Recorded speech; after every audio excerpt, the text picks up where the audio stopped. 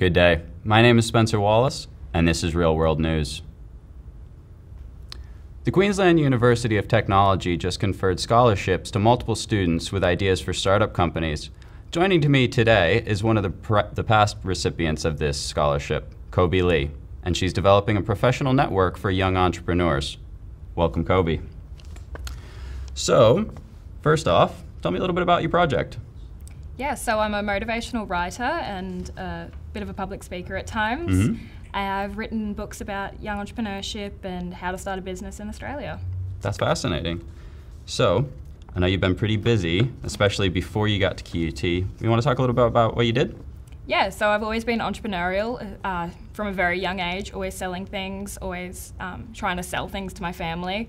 Uh, it was around year seven and eight that I really started moving into a very entrepreneurial journey of writing books and upcycling succulents and selling them at car boot sales, which then eventually went to wholesales. So that was really nice in year 12. Yeah, that's and fascinating. Yeah. So, what ultimately brought you to QUT? Uh, so the scholarship brought me to QUT. I never wanted to go to university to begin with. Uh, it was a bit of a a juggle in year 12, especially with COVID, because I was that year 12 cohort. Of course. Uh, I was writing a book for my school, mm. and yeah, it, I found the scholarship. Fair enough. Could you tell me a little bit that, about that book you're writing? Yeah, so I wrote it in 2020. It's about starting a business as a young entrepreneur in mm-hmm. Australia. Mm. So I interviewed a bunch of young entrepreneurs from all over Australia, which was great mm-hmm. during 2020. And yeah, so it's a year 12 project. It doesn't go towards anything, it's just part of the philosophy of my school. And so I, it just aligned with the scholarship. That's, a, that's very interesting. So, once you got to QUT, what did you start doing?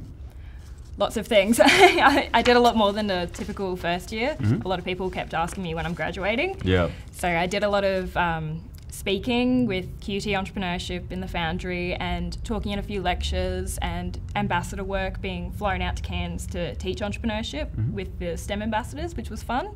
And yeah, lots of things.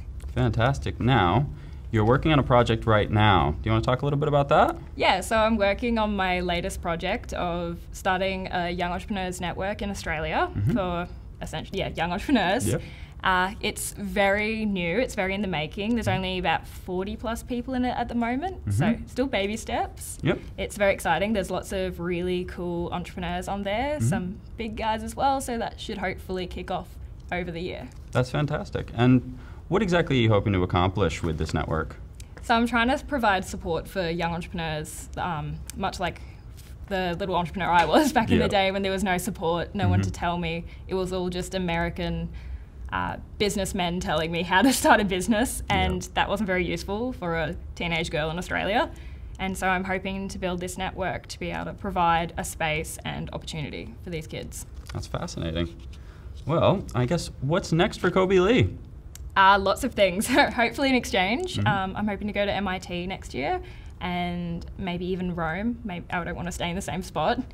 if I'm going to be busy, I may as well make myself even more busy. That's fair enough. And yeah, hopefully there's lots of exciting things around the corner.